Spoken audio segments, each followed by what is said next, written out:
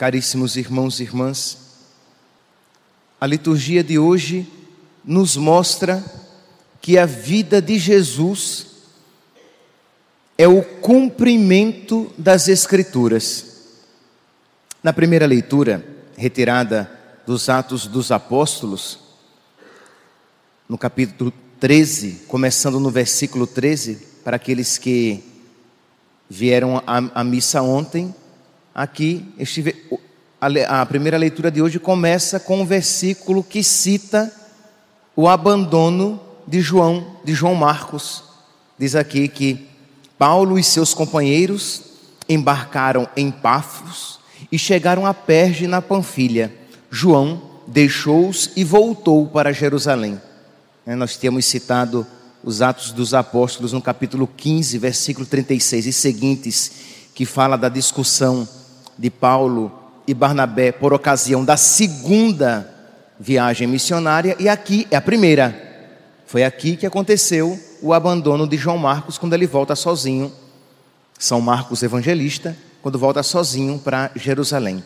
Pois bem, então, Paulo, ele vai, Paulo, Barnabé, estamos ainda aqui na primeira é, viagem missionária, eles vão para a sinagoga anunciar Jesus.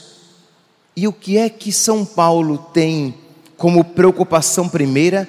Mostrar que Jesus é o cumprimento das Escrituras, que ele foi preparado por Deus e as Escrituras demonstram isso. Então ele vai dizer: Paulo levantou-se, fez um sinal com a mão e disse: Israelitas, vós que temeis a Deus, escutai.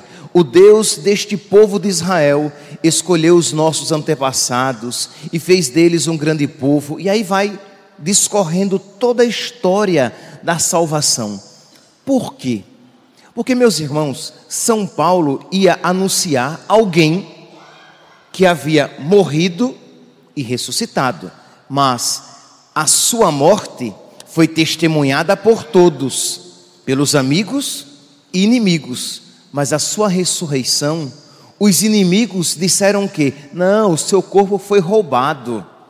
Ele não ressuscitou coisíssima nenhuma. Então não era algo tão evidente para todos a ressurreição de nosso Senhor. Muitos diziam que era história, que ele não tinha ressuscitado coisa alguma. De modo que, quando São Paulo anunciasse Jesus, os seus inimigos, os judeus, iriam dizer: Você está anunciando alguém que morreu na cruz. Ele morreu, ele foi um condenado, ele foi um abandonado por Deus. Então, São Paulo, ele quer mostrar que até isso, que até a morte foi algo que estava nos planos de Deus. Que Jesus, que morreu e ressuscitou, a sua morte fazia parte dos planos de Deus, porque a vinda de Jesus foi preparada desde o início, quando Deus formou um povo. Então, São Paulo vai citando toda a história da salvação, e aí, aqui no versículo 22, ele já chega a Davi aquele do qual Jesus sairia. Jesus sai da tribo de, de Davi, é, é, é, da família, da casa real de, de Davi. Em seguida, Deus fez surgir Davi como rei, e assim testemunhou a seu respeito: Encontrei Davi, filho de Jessé, homem segundo o meu coração, que vai fazer em tudo a minha vontade. Conforme prometera, da descendência de Davi, Deus fez surgir para Israel um Salvador, que é Jesus. E aí fala de João Batista e depois segue o seu discurso. Então, para São Paulo, é importante, São Paulo aqui, ele não quer de maneira nenhuma negar a crueza do sofrimento e da morte de, de nosso Senhor. O que ele quer dizer é: aquilo fazia parte dos planos de Deus, tinha um motivo e um significado. Nesta mesma linha, Jesus se coloca no evangelho de hoje, aqui logo depois do, do lava-pés, e Jesus diz que um daqueles que ali estava iria traí-lo. João capítulo 13, versículo 18. Eu não falo de vós todos, Mas é preciso que se realize o que está na Escritura: aquele que come o meu pão levantou contra mim o calcanhar. Desde agora vos digo isso, antes de acontecer, a fim de que, quando acontecer, vós acrediteis que eu sou. Vós acrediteis que eu sou verdadeiro, que eu sou o, o Messias, que eu sou aquilo que vos tenho dito. Quando isso acontecer, vocês já estarão prevenidos. Jesus está citando aqui o Salmo 40. É um salmo que fala a respeito de um homem bom, de um homem que faz o bem, que pratica a misericórdia, mas que aparentemente é abandonado por Deus, porque a doença lhe visita. Salmo 40, versículo 6. O contexto é o seguinte: o doente está no leito, está na cama, e os seus amigos e inimigos o visitam e começam a dizer coisas ruins para ele. Amigos e inimigos. O meu inimigo me diz com, com maldade: quando há de morrer e extinguir-se o seu nome? Se alguém me visita, é com dupla intenção. Recolhe más notícias no seu coração e apenas saindo, ele corre a espalhá-las. Profetizam desgraças, os meus inimigos, reunidos, sussurram o mal contra mim. Uma peste incurável caiu sobre ele, e do leito em que jaz, nunca mais se erguerá.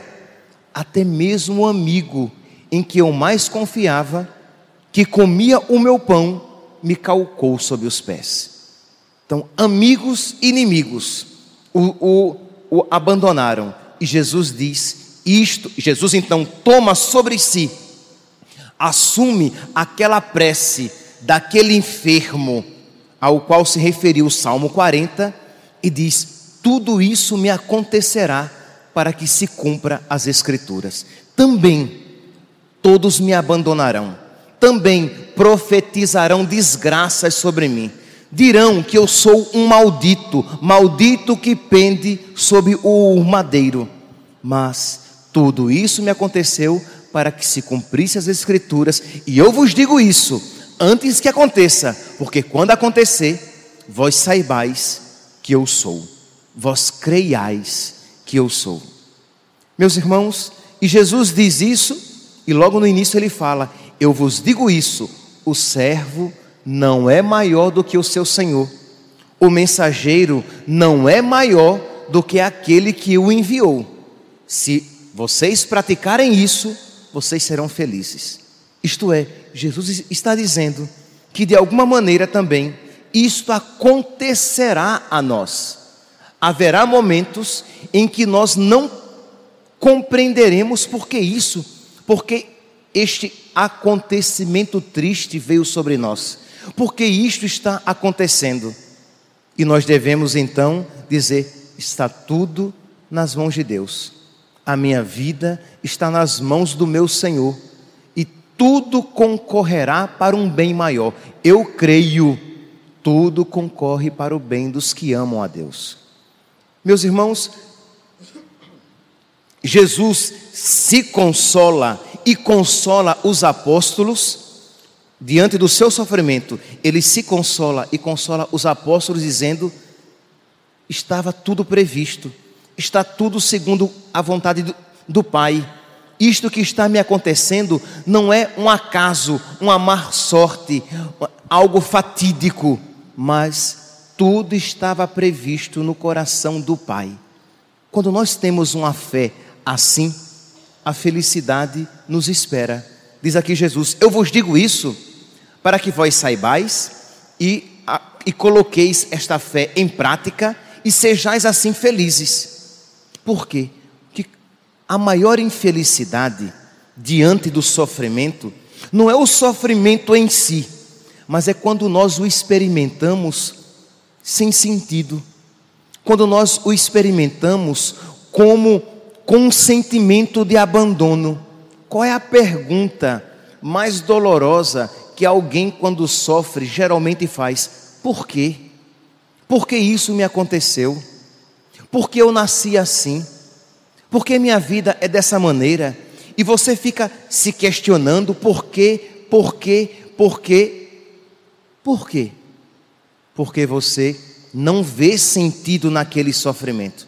Mas se você diz, isso está nas mãos de Deus, existe um porquê para tudo isso que me acontece. E eu creio na bondade de Deus, mesmo que na, na minha limitação eu não a veja concretamente. Mas eu creio, isso traz conforto, porque você não se sente abandonada, você não se sente abandonado, mas você sabe que mesmo em meio àquele sofrimento, você é guardado, você é protegido.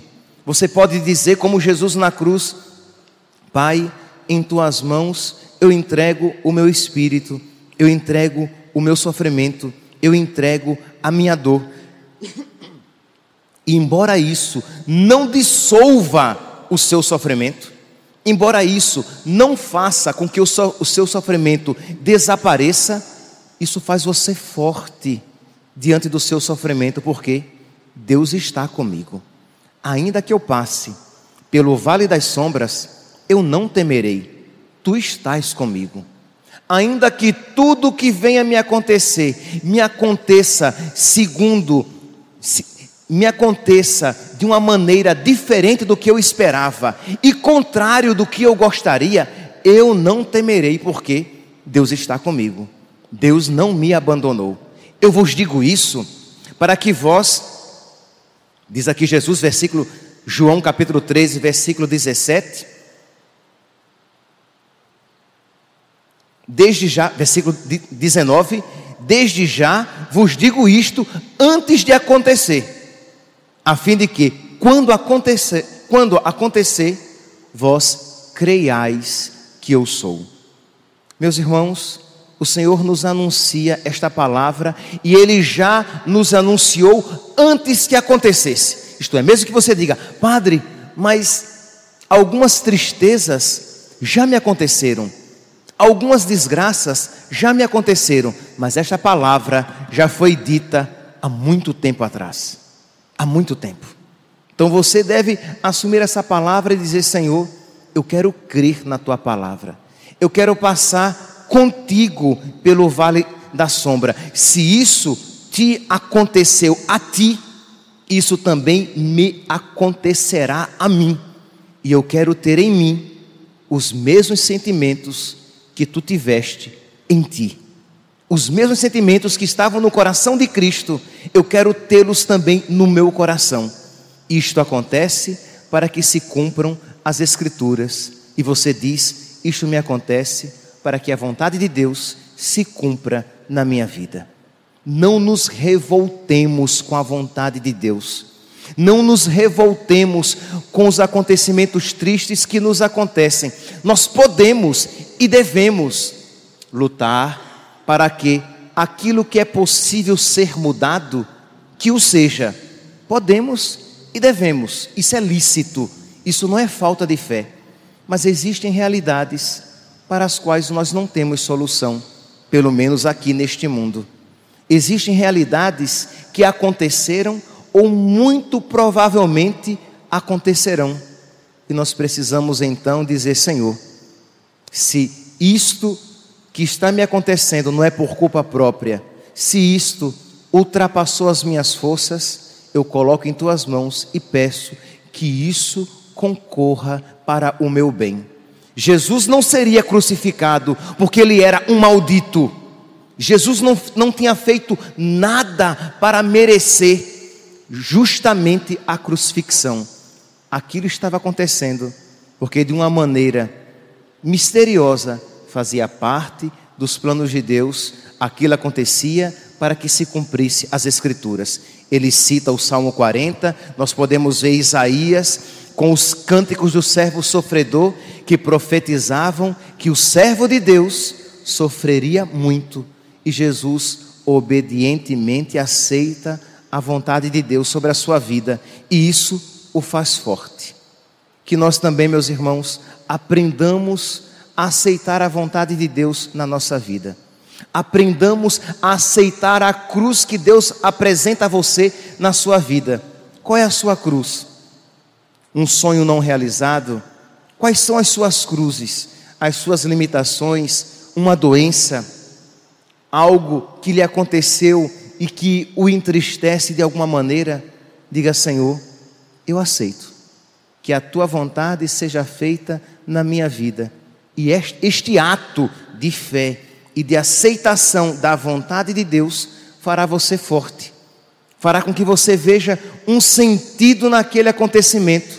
Sentido este que talvez naquele momento a sua inteligência não alcance, não compreenda, mas que você diz: Eu coloco a minha vida nas mãos de Deus, eu procuro de verdade amar a Deus aceitando a Sua vontade, de modo que tudo o que me acontecer, bom e mal, tudo concorrerá para o meu bem, porque tudo concorre para o bem dos que amam a Deus.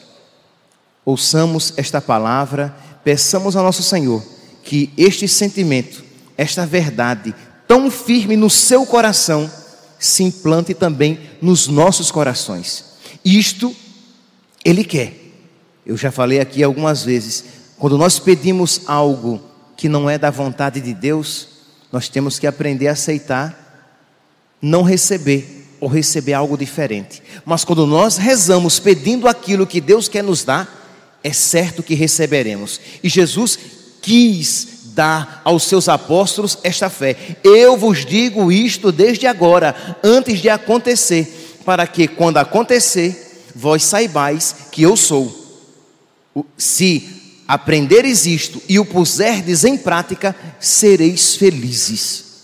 Peçamos a Deus que coloque no nosso coração esta fé, para que neste mundo, já neste mundo, aprendamos a viver naquela felicidade que a teremos plenamente no céu.